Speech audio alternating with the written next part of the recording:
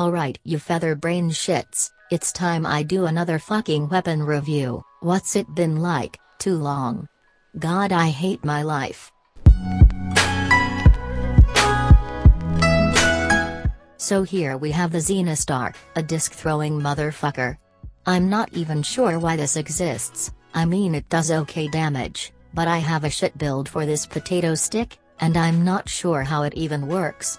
This thing comes with absolutely no fucking critical chance or damage, it has base heat as its fucking damage type. But it has 25% status, so I guess that's good that we can put condition overload on this thing.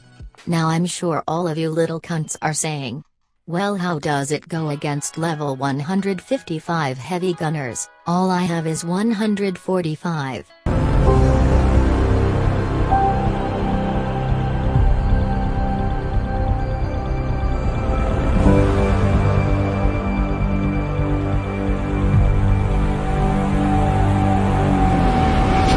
Let me tell you.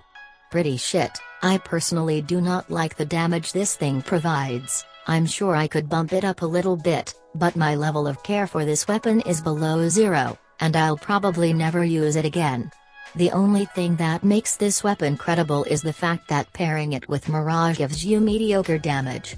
You might be wondering at this point, why the fuck am I reviewing this thing now, like two years after its release or some dog shit like that?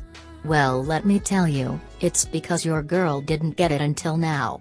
Remember that account shenanigans? Well yeah I just hit 300.